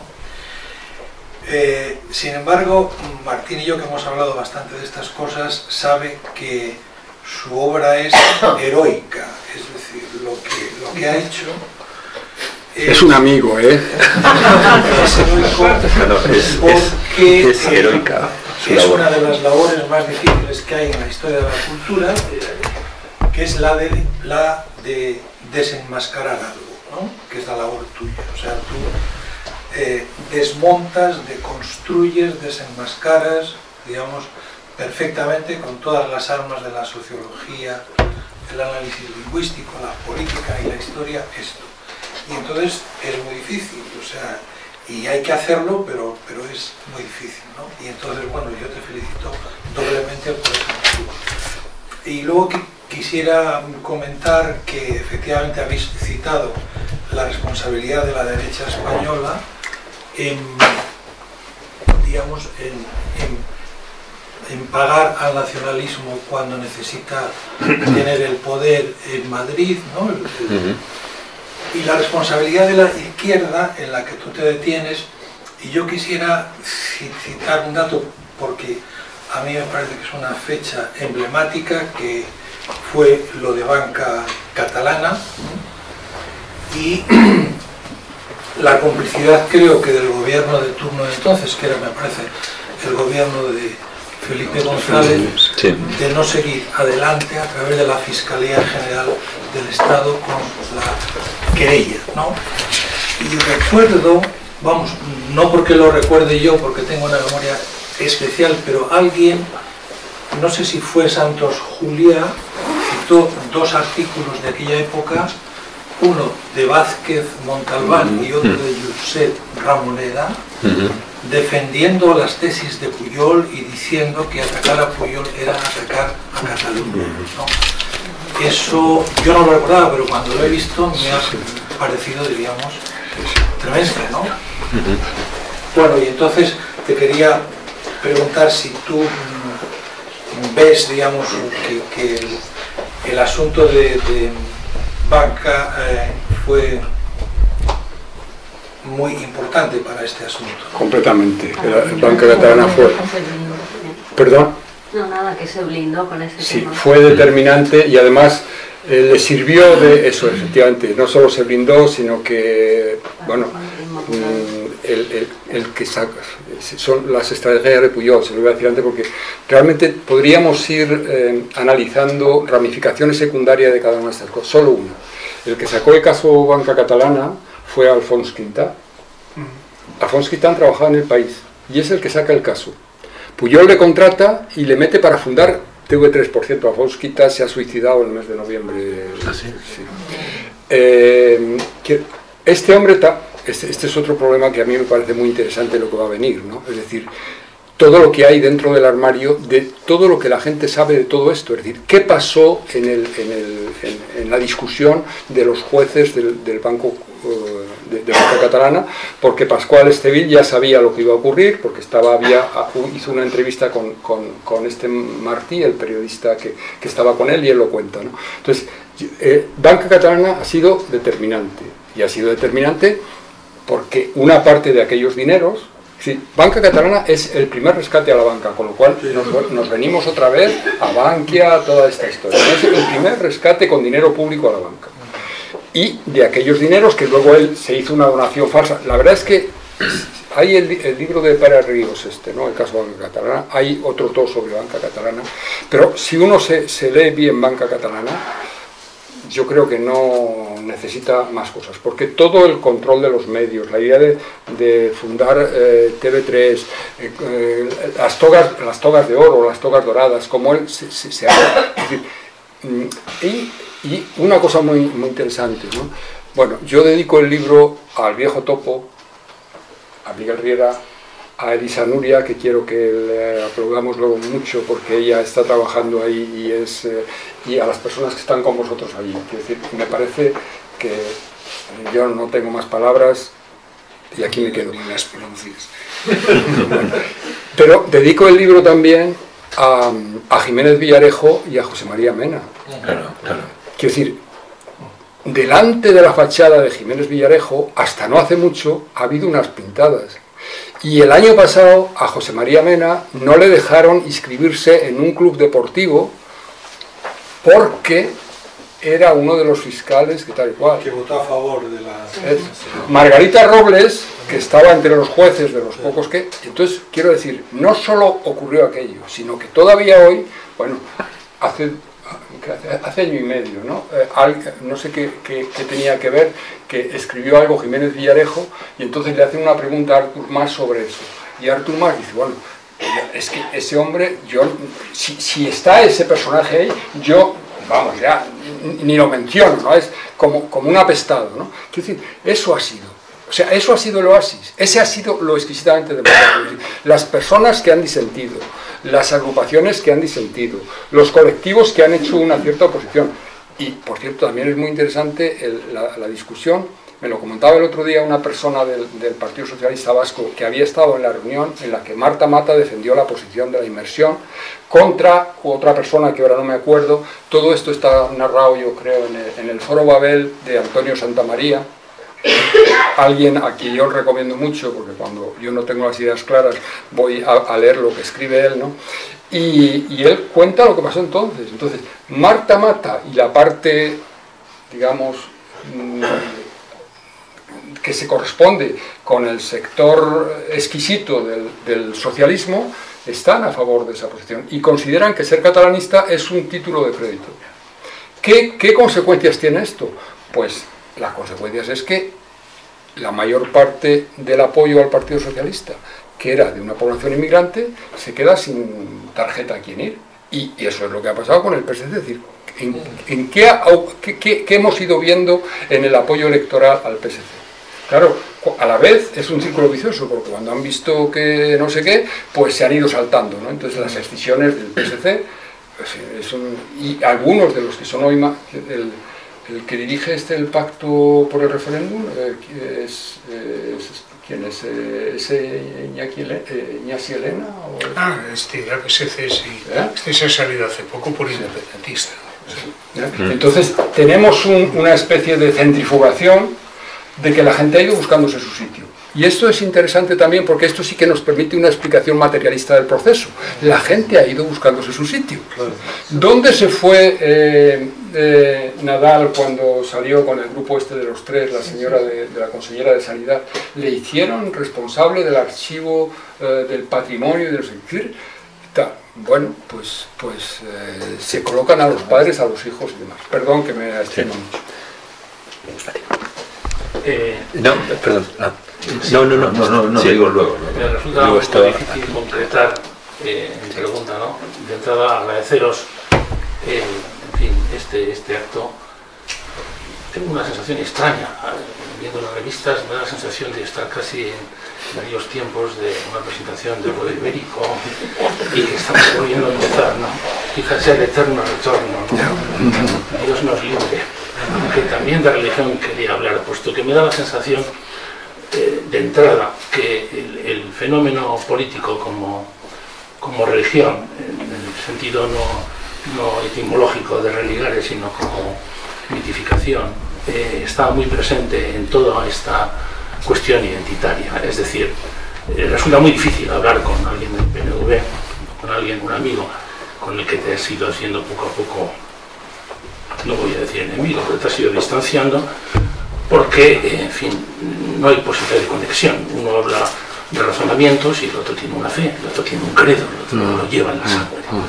Entonces, claro, eh, es, eh, eh, digamos, el carácter catalán y el carácter vasco más esencialista está muy vinculado con esta idea y las iglesias, me acuerdo, Montserrat, ¿eh? de en el año 60 y tanto, 70, cuando íbamos a cursos prohibidos de, de Freire, de la pedagogía de liberación en Montserrat, ¿no? todo clandestino. En fin, cuando nos reuníamos, por ejemplo, en, en los espacios en verdes que se llamaban de Rosa Sensato en verano, allí en la Escuela del Bosque, en Montjuic, ¿no? con Marta Mata, por cierto. Es curioso este concepto de, de verde, este concepto de espacios de decisión, es algo que desde la izquierda, en tiempos del franquismo, se usaba mucho porque nos venía muy bien, porque, digamos, tú conquistabas un territorio pequeñito, pero ahí te dejaba, ahí no entraba la policía, ahí, en fin, era un espacio de libertad, ¿no? Eh, eso, eh, eh, digamos, pasado el franquismo, más o menos, en la medida en que ha pasado, pues resulta que eh, se sigue utilizando desde cierta izquierda, desde ciertos movimientos más o menos populares, al margen total de las decisiones que la democracia y el sistema y la legalidad plantean. Te encuentras gentes que, bueno, pues tienen o plantean que tienen una identidad distinta, su carne de identidad vasco, su tal, o su derecho a decidir. Desde luego el eufemismo está triunfando porque todo está abierto, es decir, eh, si triunfan es porque utilizan unos, unos elementos tan, tan básicos, tan sencillos, tan esencialistas, tan religiosos, que claro, ¿quién se va a oponer? ¿no? Eh, eh, entonces yo creo que, por una parte, este, este asunto de, los, de, la, esa especie de alternativa doble, ¿no? de jugar Decía uno de, de- de mi pueblo, ¿no? Que tranquilo, porque aquí ganaremos tarde o temprano, las icastolas van marcando la pauta poco a poco, y entonces si este año no ganamos, el año que viene, y si no el año siguiente, y si no el año siguiente, ¿no? Eh, pues yo también decía, contestando a ellos, no saltes un enfermo, ¿no? nosotros lo vamos haciendo, estamos haciendo la menor. A nosotros está claro que España les importa muy poco, que el resto les importa muy poco, que los charcos les importa muy poco, y ellos van haciendo. Quien haya vivido en Cataluña un tiempo, pues constatará hasta qué punto aquello está construido en niveles, como todas las sociedades muy estratificadas, muy horizontales, donde es muy difícil llegar a los organismos de poder, incluso relacionarse con la gente que está, en fin, eh, que decide realmente las cuestiones que pasan en Cataluña. ¿no? Lo mismo ocurre en Euskadi y algo parecido ocurre en Galicia. Yo casualmente conozco un poco los tres casos. ¿no? Eh, en cuanto a las causas, has citado una causa que yo creo que es muy determinante y que está muy utilizada y muy instrumentalizada, muy poco criticada, muy instrumentalizada, que es la de eh, la discriminación positiva. Es decir, eh, parece que un concepto, un- una, cosa tan antagónica en sí misma, tan antitética como discriminación y positiva, si es discriminación no puede ser positiva, sostengo. Entonces, es, es algo que, coño, en una especie de, de culpa, pues el que no sabe, parece que tiende, no sabe, por ejemplo, el euskera, no sabe el catalán, tiene que hacer un acto de cesión ante el otro, porque claro, yo eh, soportar que, que sí, estando aquí, pues que salga en Cataluña, o que primero se publique en euskera, o que solo se publique en euskera, ¿no? Eh, es increíble eh, cómo a partir de esto se construye toda la política lingüística y cómo se construye todos los medios, todos los medios, eh, eh, quien no haya ido a Euskal Televista, aconsejo que algún día pueda entrar allí, porque quedará alucinado, pensará que está, no sé, en, en la televisión europea, puesto que hay un- unos medios impresionantes con los que y desde los que el propio gobierno eh, eh, digamos reacciona a la población ¿no? y por si fuera poco además se crean instrumentos como puede ser el Gogora a la hora de decidir cuál es el futuro es decir desde el propio gobierno se instrumentaliza la historia entonces yo tengo la sensación de que jo, a mí me encanta ¿no? Eh, que hayas publicado esto habrá que hacer un esfuerzo por leerlo pero jo, si pudiéramos parar si, pudiéramos parar el choque de trenes con libros ¿no? Eh, con esto no quiero llamar a otras armas, digamos, que los libros, ¿no? que son las que más me gustan por otra parte. Pero eh, me da la sensación de que no, no, calamos, no llegamos a la población con otro tipo de, digamos, de, políticas, de razonamientos, de por qué. Porque eh, cuando más asisto a reuniones de historiadores, jo, más me convencen y más sesudas me parecen las, los escritos y tal. ¿no? Pero coño, esto, esto va avanzando y el tren va, va cada vez a más velocidad. ¿Qué recetas tenéis? Eh, ¿eh? ¿Eh? ¿Qué recetas tenéis? Sí, Es una fórmula comercial para vender más libros en el futuro. sí, Eh, claro, De acuerdo, vamos, me parece que la- las reflexiones no las comparto y están bien sustentadas. Y lo último pues yo creo que siempre es interesante. Y a mí me, me gusta citar a veces eh, eh, un- una frase de, de un filósofo Wittgenstein que dice el sentido de Wittgenstein eh, el sentido es el uso ¿no? ¿qué quiere decir el sentido es el uso? que podemos eh, decir que es estúpido el derecho a decidir pero si no establecemos una correlación de fuerzas para codificar digamos la legitimidad de los significados y la legitimidad de las reivindicaciones, por eso yo he empezado diciéndoles que lo importante es lo que vamos a hacer mañana, porque mañana vamos a pelear por los decibelios, no por, no por las páginas del libro, sino por cómo hacernos un sitio para que haya una cierta racionalidad y a ver si contamos con un apoyo para eso. Es verdad que puede haber matices en una cosa o en otra, pero yo creo que lo que no puede haber matices es en un llamar a una opción que sea razonable, sabiendo que nunca en un eh, contencioso como este podemos estar todos contentos, como tampoco nos pasa con la pareja con la que vivimos en casa. Pero sobre todo el desencializar, como hemos quedado, ¿no? Esta idea de las cosas son eh, indivisibles, que es ahora eh, los eslóganes que han salido con eso, ¿no? Eh, ahora, ¿cómo es? Ahora es la hora, ¿no? O sea, tiene que ser ahora, mañana mismo. Como decía Marta Rovira otro día, ya llegamos tarde, ¿no? O ya se nos pasa el, cocido.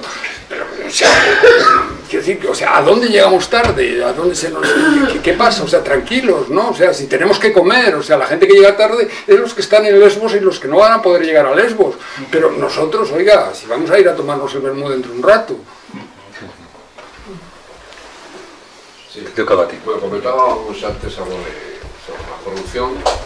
Eh, vamos a ver, el Puyol dicen que tiene como 3.000 millones de euros la televisión, el dato, alguien que durante 30 años está, digamos, orquestando una, un plan para una apropiación indebida sistemática, también parece lógico pensar que tiene que idear la manera de que eso se quede sin posibilidades de que aflore. ¿Hasta qué punto la corrupción, que no creo que solo sea la familia Puyol, eh, ha habido más casos de, de, del teatro este, ¿no? el teatro de Palau, la Casa de la Música. La, la corrupción siempre se sale, uno, uno se está saliendo la corrupción de Madrid, y estoy convencido de que la corrupción en Cataluña, si no hubiera este, esta, estas maquinaciones, estas, esta presión de la que hablabas antes en todos los medios judiciales y de prensa y demás, está claro que afloraría mucha más. Hasta qué punto, eh, visto desde, desde fuera, sin ser experto en nada, parece que todo el proceso puede ser un mecanismo de autodefensa ideado por unos señores que les interesa que no aparezca ni la Guardia Civil ni la justicia española. ¿no? Pues claro, para esta gente, para, para los Puyol, para, para Jordi Puyol, Ferrusela, ha llegado tarde el proceso, está en la cárcel, lógicamente, si hubieran conseguido una justicia eh, manipulada por el, por el poder catalán, está claro que se hubieran escapado, porque los ciudadanos se hubieran investigado. ¿no? Entonces, ¿hasta, ¿hasta qué punto influye digamos, la, autodefensa de protección de, unos clanes corruptos para maquinar todo un, toda una salida, en el caso de, convergencia, ¿no? Se ve, ¿no? Cómo de la noche a la mañana pues cambia el, discurso, lo que era para Artur Mas eh, la independencia era una cosa trasnochada, pues se presenta como, como una única vía de salida, ¿no? Artur Mas, estoy convencido que es una, una visión personal, también estará imputado algún día, ¿no? Si no conseguimos, claro, que la justicia prevalezca sobre, sobre toda esta política, ¿no? Porque cuando los políticos tampoco responden, los medios de, digamos, de investigación periodísticos tampoco para que puedan tener mucha fuerza por, lo que se está viendo. Entonces, ¿cómo ve usted eh, que, el, que el proceso sea la consecuencia de, de un Estado? ¿Cómo lo ves? Si, si, no se, decir, si no se puede decir solo y solo sí por eso, desde luego se puede decir que eso es parte de la, de la ecuación. Entonces yo creo que eso no hay ninguna duda. El, el, segundo, la segunda palabra del subtítulo es impunidad.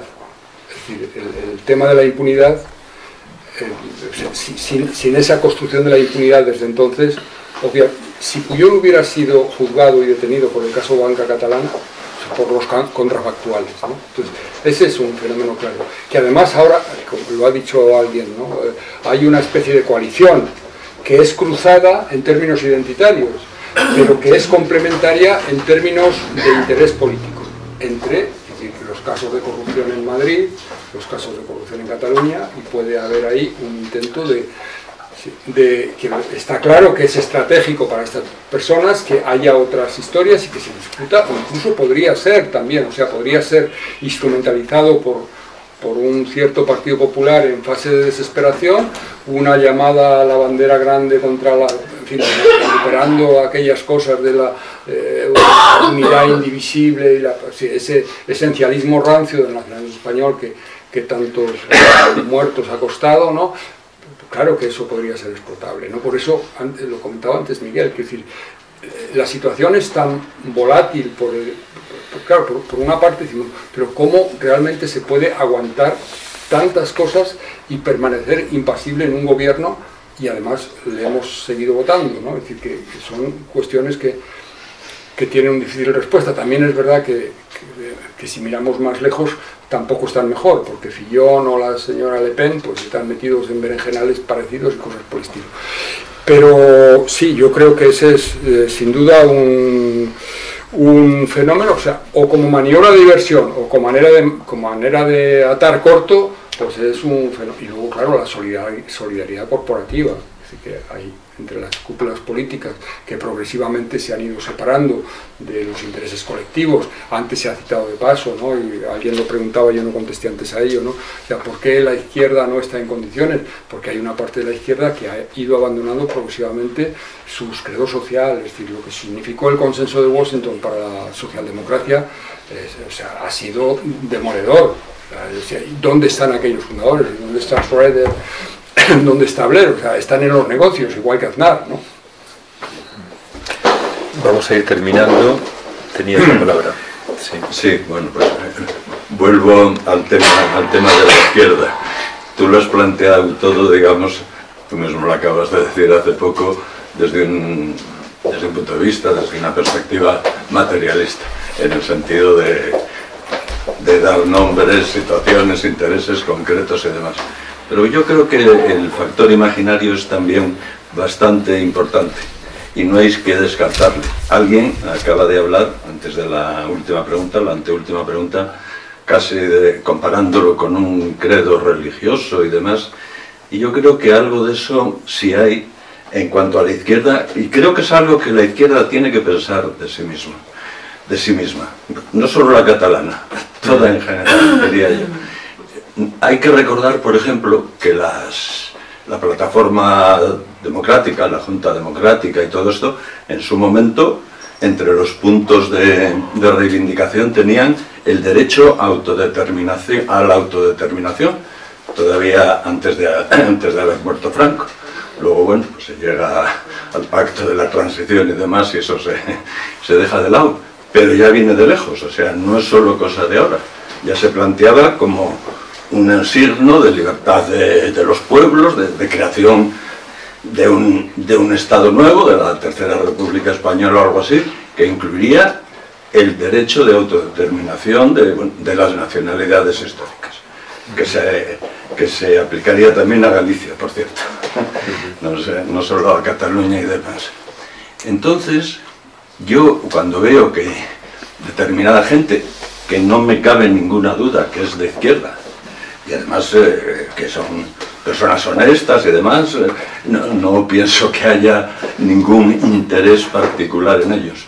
los cristianos de base, por ejemplo, en Cataluña o así también. Esta gente, mm, en general, pues, hablo en general, están a favor del derecho de autodeterminación y de la independencia. Hay una parte del imaginario que es eh, la secesión, la independencia, representa un, aspecto, un espacio de libertad frente a un Estado opresivo y demás, y bueno, claro, además en España con, el antecedente del franquismo, pues eso precisamente todavía lo, lo refuerza más.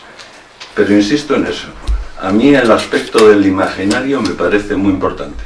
Yo no puedo dejar de preguntarme por qué hablando en general y con las excepciones debidas, por supuesto, pero hablando en general, la gente de izquierda se suma a procesos independentistas como el catalán, como el vasco en su, también, a su manera. ¿Qué pasa? Y no creo que sea solo cuestión de, de la izquierda catalana o de la vasca. Yo a veces me pregunto si si aquí, en Cantabria, se produjeran unas circunstancias históricas parecidas, estoy seguro de que mucha gente con la que yo me relaciono, y gente sin ningún tipo de interés político ni de eh, chupar la teta de la política, estaría más o menos en una onda parecida. Porque es muy tarde y no gracias eh, Luis Enrique. Bueno, yo creo que eh, una de las maneras como se ha explicado el proceso lo hace la historiadora Locacho, lo llama una utopía de sustitución. Yo, creo que en el derrumbe este, igual que, que dijo vamos a, nos vamos a Ítaca porque esto se hunde, ¿no? pues yo creo que, eh, yo lo he comentado más veces, ¿no? Eh, la, caída del muro sigue dando como, como estos terremotos que luego van haciendo réplicas. ¿no? Entonces, eh, claro, la izquierda es, hay, muchos colores y tal, pero yo creo que el, que el fenómeno de esta ideología de, de sustitución y la abducción, o sea, el, el, encanto que, no, recordemos, yo no, me salgo aquí del asunto, ¿no? Eh, cuando hay la lucha en, en, las, en las, vísperas del, del, nazismo entre el Partido Comunista y la socialdemocracia, el sujeto revolucionario de la izquierda es el, el, el proletariado, el trabajador, pero el sujeto revolucionario de, de Hitler es la nación y lo que hace es trasvasar todo el contenido simbólico del, del, sujeto, uh, del sujeto social, que es tal, a, a la nación. ¿no? Entonces, claro, esas transferencias han ocurrido muchas veces, las conversiones tal. Digo, claro, eh, tendríamos que ver qué parte de, qué parte de esa entra en lo, que tú, en lo que tú cuentas, pero desde luego ese es un fenómeno que tiene que ver y no es explicable una parte de la deriva de unas cabezas que, a las que respetamos muchos, muchos en esa dirección sin esa especie de seducción o abducción del, del credo identitario. Muy bien. Bueno, vamos a terminar el acto. Perdón, perdón eh, porque quería, no sé si queréis decir algo para finalizar. Pues lo único Tanto que puedo decir es que no olvidéis que eh, el Parlamento de Cataluña es mayoritariamente independentista debido a una ley electoral horrible ¿eh? que, favorece pues las áreas geográficas más conservadoras, las poscarlistas, por decirlo de una manera, pero que Barcelona y Tarragona, por ejemplo, ahí las corporaciones son mayoritariamente no independentistas y que en el voto popular todavía el independentismo no ha ganado. Bueno, yo lo que querría decir, ya una vez más agradecer a, al viejo topo lo que está haciendo, con independencia de que haya cometido la torpeza de publicar mi libro. ¿no? y, y, quiero decir también que, aparte del el viejo topo es de esos territorios, yo creo que Carlos lo ha dicho antes muy bien, ¿no? de esos sitios en los que, en los que mmm, hace que la sociedad en fin, que valga la pena, de que son espacios de, fin, de, de, de, ciudadanía, de resistencia, de convivir, y otro espacio es este sitio donde estamos, la vorágine, entonces, entonces está por ahí Carmen, Emanuel no está, Paco y los que hacéis posible este sitio en el que podemos discutir de estas cosas, pues el, la observación que tú decías al principio, aquí además de presentar el libro estamos entre nosotros y estamos generando un clima de opinión en el que podemos discutir contra la violencia de género o contra no sé qué, ¿no? Pues yo, por eso yo creo que estos espacios es lo que tenemos que hacer, porque si no tenemos esas extremas derechas o los Alfonso I o no sé quién que vienen a cogernos el sitio. ¿no? Así que gracias a la vorágine, gracias al viejo topo gracias a, a, a, y gracias por aguantar este sermón a estas horas.